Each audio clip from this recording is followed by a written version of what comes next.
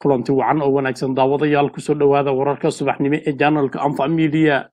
Waa subaxnimo axad ah taariikhduna waa laba iyo labaatanka bisha sagaalaad labada kun iyo sagaal iyo tobanka. Wararkeena subaxnimo qodobada aad ku maqli doontaan waxaa ka mid a dowladda federaalka ah ee soomaaliya oo fasaxday lacagtii ay dowlad goboleedyada ka haysay ee deeqaha caalamka ka yimid ahayde maamulka gobolka banaadir oo joojiyey qaadashada shaqaale cusub in ay qortaan ah madaxweynaha qaranka mudane maxamed cabdulaahi farmaajo oo dalka ruushka la galay heshiis wax ku ool ah iyo soomaaliya oo la rajaynhayo in laga cafinhayo deymaha uu caalamku ku leeyahay labada kun iyo labaatanka. Qodobadaasi oo faahfaahsan iyo kuwo kale ayaad ku maqli doontaan wararka subaxnimo ee janalka anfac media ee daawasho wanaagsan dowladda federaalka soomaaliya ayaa si rasmiya u fasaxday lacag ay ka haysay maamul goboleedyada dalka iyo maamulka gobolka banaadir taasi oo ahayd deeq ka timid midooda yurub. Lacagtan ayaa ka kooban lix milyan oo dollar waxaana iska leh shanta maamul goboleed iyo maamulka gobolka banaadir waxayna u kala leeyihiin min hal milyan oo dollar. Sida lagu shaaciyey qoraal ka soo baxay wasaaradda maaliyadda ee qaranka soomaaliyeed. Qoraalka ka soo baxay wasiirka maaliyadda soomaaliya cabdiraxmaan ducaale beyle ayaa maamulada looga dalbaday in ay saddex meelood meel lacagtan u adeegsadaan amniga iyo arrimaha bulshada. Halka inta soo hartay uu maamul walba u kharash garaynhayo sida uu doono isagu lacagtan ayaa ka mid ah shan iyo toban milyan oo dollar oo uu midowda yurub ugu deeqay soomaaliya taasi oo dowlad goboleedyada iyo gobolka banaadir ay ka heleen boqolkiiba afartan oo ah lix milyan oo dollar. Warqadda ay soo qortay wasaaradda maaliyadda soomaaliya ayaa waxay ahayd sida tan ku socota wasiirka maaliyadda ee dowlad goboleedka puntland garow ku socota wasiirka maaliyadda ee dowlad goboleedka jubbaland kismaayo ku socota wasiirka maaliyadda ee dowlad goboleedka koonfur galbeed baydhabo ku socota wasiirka maaliyadda ee dowlad goboleedka galmudug dhowsamareebe ku socota wasiirka maaliyadda ee dowlad goboleedka hirshabelle jowhar ku socota maamulka gobolka banaadir muqdisho og agaasimaha guud ee wasaaradda maaliyadda og wasiir ku-xigeenka wasaaradda maaliyadda og wasiiru dowlaha wasaaradda maaliyadda og ra'iisul wasaaraha qaranka xasan cali khayre. Salaan diran kadib waxaanu maamulada ogeysiinhaynaa in aan u gaadhsiinay lacagtaasi oo min hal milyan ay u kala leeyihiin shanta maamul goboleed iyo maamulka gobolka banaadir. Waxaanu ku wareejinay lacag dhan shan milyan oo dollar ayuu yidhaahday wasiirka maaliyadda qaranka soomaaliyeed mudane cabdiraxmaan ducaale beyle dhanka kale maamulka gobolka banaadir ayaa isku raacay joojinta qaadashada shaqaalaha cusub ee dowladda hoose ilaa amar dambe. Sida ay noo sheegeen mas'uuliyiin ka tirsan dowladda hoose ee gobolkaasi banaadir cumar maxamuud maxamed filish ayaa u sheegay dhammaan guddoomiye ku-xigeenada gobolka banaadir odayaasha dhaqanka xildhibaano ka tirsan baarlamaanka soomaaliya madaxweynaha iyo ra'iisul wasaaraha in uu joojiyey qaadashada shaqaale cusub oo ka mid noqda dowladda hoose ee gobolka banaadir ilaa muddo dhowr bilooda. Cumar filish ayaa dalbaday in la siiyo fursad uu ku soo saxo nidaamka shaqaale qaadashada gobolka banaadir oo u baahan in lagu sameeyo dib u eegis xoogan lana hubiyo qof kastana ay qaadan doonto muddo bilooyin ah sida ay noo sheegeen mas'uuliyiin ka tirsan xafiiska shaqada iyo shaqaalaha ee gobolka banaadir. Arrintan ayaa waxaa sababay weerarkii ka dhacay aqalka dowladda hoose ee gobolka banaadir afar iyo labaatankii bishii julaay ee sanadkan kaasi oo lagu waayay halyeeyo badan kadib markii ay fulisay qof dumar ah oo ka tirsan mas'uuliyiinta gobolka banaadir oo aragga naafa ka ahayd sida ay dowladdu sheegtay dhalinyaro badan ayaa rajaynayay in ay shaqo ka helaan aqalka dowladda hoose iyo gobolka kuwaasi oo u muuqda hadda in rajadii shaqada ay dib u dhac ku imaaday. Dhanka kale madaxweynaha soomaaliya mudane maxamed cabdulaahi farmaajo ayaa la sheegay inuu heshiisyo u saxiixi doono wadanka ruushka. Madaxweyne maxamed cabdulaahi farmaajo ayaa la filayaa in uu tago dalka ruushka halkaasi oo uu uga qaybgeli doono shir dhex maraya ruushka iyo waddamada qaaradani afrika. Shirkaas ayaa la filahayaa in uu ruushka ka furmo saddex iyo labaatanka bisha oktoobar ee sanadka labada kun iyo sagaal iyo tobanka waxaana ka qaybgeli doona wadamo badan oo ka tirsan qaaradani afrika. Danjiraha soomaaliya u fadhiya dalka ruushka cabdulaahi maxamuud warsame ayaa sheegay in uu dhici doono kulan dhex mari doono farmaajo iyo putin halka sidoo kalena ay kulmi doonaan wasiirada arrimaha dibadda gaashaandhigga ee labada dal dowladaha soomaaliya iyo ruushka ayaa la filayaa in ay kulamadaasi ku kala saxiixdaan heshiisyo dhanka milatariga iyo kalluumaysiga safiirka soomaaliya ee ruushka ayaa sheegay in wadanka ruushka uu aad u danaynayo dhoofsashada kalluunka soomaaliya mar uu waraysi siiyey septenken com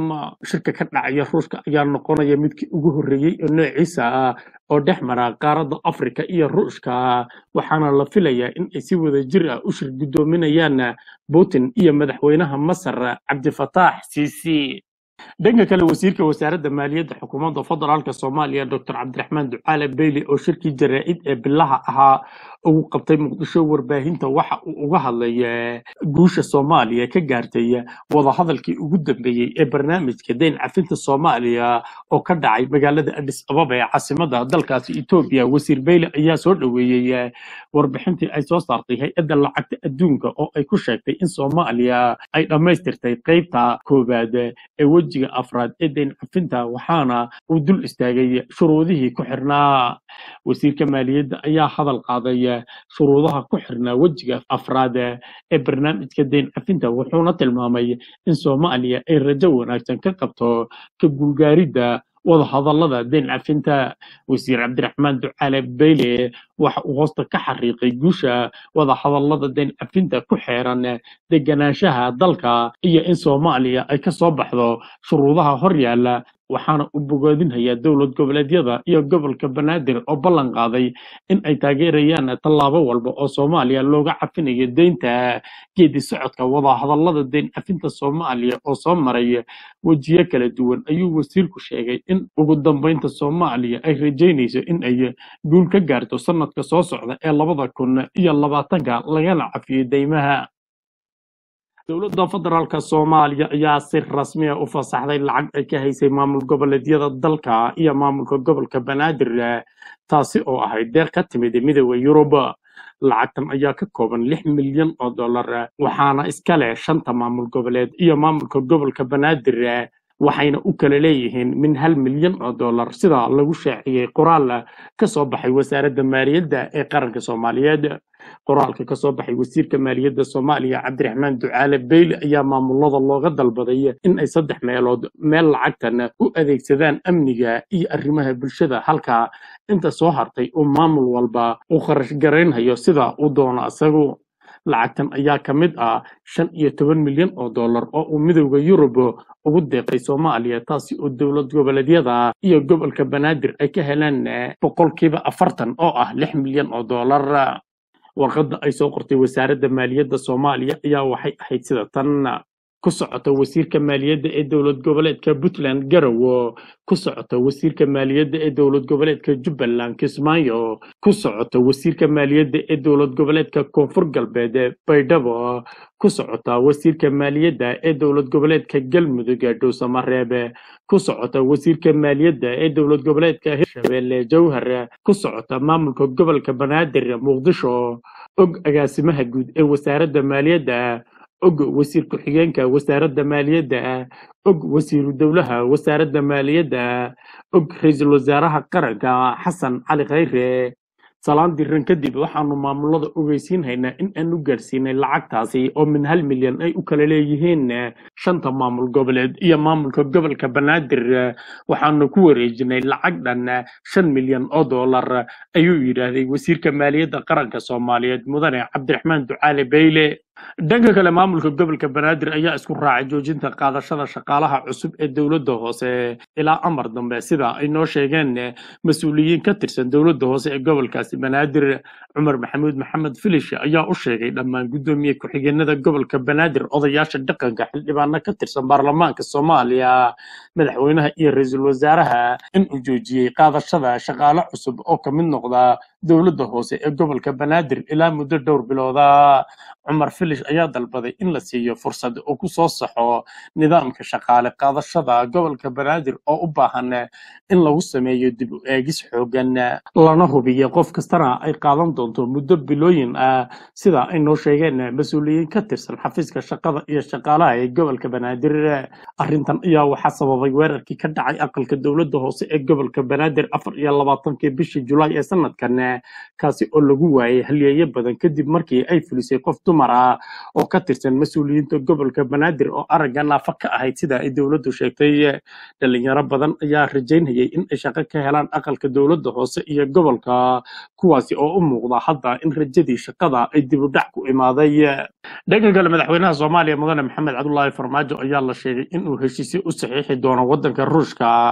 Madaxweyne maxamed cabdulaahi farmaajo ayaa la filayaa inuu tago dalka ruushka halkaasi oo uu uga qaybgeli doono shir dhex maraya ruushka iyo waddamada qaaradani afrika. Shirkaas ayaa la filahayaa inuu ruushka ka furmo saddex iyo labaatanka bisha oktoobar ee sanadka labada kun iyo sagaal iyo tobanka waxaana ka qaybgeli doona wadamo badan oo ka tirsan qaaradani afrika. Danjiraha soomaaliya u fadhiya dalka ruushka cabdulaahi maxamuud warsame ayaa sheegay inuu dhici doono kulan dhex mari doono farmaajo iyo putin halka sidoo kalena ay kulmi doonaan wasiirada arrimaha dibadda gaashaandhigga ee labada dal dowladaha soomaaliya iyo ruushka ayaa la filayaa in ay kulamadaasi ku kala saxiixdaan heshiisyo dhanka milatariga iyo kalluumaysiga safiirka soomaaliya ee ruushka ayaa sheegay in wadanka ruushka uu aad u danaynayo dhoofsashada kalluunka soomaaliya mar uu waraysi siiyey septenken com shirka ka dhacaya ruushka ayaa noqonaya midkii ugu horreeyey oo noociisa ah oo dhex mara qaaradda afrika iyo ruushka waxaana la filayaa in ay si wada jir ah u shir guddoominayaan putin iyo madaxweynaha masar cabdifataax siisi dhanka kale wasiirka wasaaradda maaliyadda xukuumadda federaalka soomaaliya dr cabdiraxmaan ducaale beyli oo shirkii jaraa'id ee bilaha ahaa ugu qabtay muqdisho warbaahinta waxa uu uga hadlay guusha soomaaliya ka gaartay wadahadalkii ugu dambeeyey ee barnaamijka dayn cafinta soomaaliya oo ka dhacay magaalada adis ababa ee caasimada dalkaasi etoobiya wasiir beyle ayaa soo dhoweeyey warbixintii ay soo saartay hay'adda lacagta adduunka oo ay ku sheegtay in soomaaliya ay dhammaystirtay qeybta koowaad ee wejiga afraad ee dayn cafinta waxaana uu dul istaagay shuruudihii ku xirnaa. Wasiirka maaliyadda ayaa hadal qaaday shuruudaha ku xirnaa wejiga afraad ee barnaamijka dayn cafinta wuxuuna tilmaamay in soomaaliya ay rajo wanaagsan ka qabto ka guulgaaridda wadahadallada dayn cafinta wasiir cabdiraxmaan ducaale beyle waxa uu hoosta ka xariiqay guusha wadahadallada dayn cafinta ku xeeran deganaanshaha dalka iyo in soomaaliya ay ka soo baxdo shuruudaha hor yaalla waxaana uu bogoodinhayaa dowlad goboleedyada iyo gobolka banaadir oo ballan qaaday in ay taageerayaan tallaabo walba oo soomaaliya looga cafinayo deynta geedi socodka wadahadallada deyn cafinta soomaaliya oo soo maray wejiyo kala duwan. Ayuu wasiirku sheegay in ugu dambeynta soomaaliya ay rajaynayso in ay guul ka gaarto sanadka soo socda ee labada kun iyo labaatanka lagana cafiyo deymaha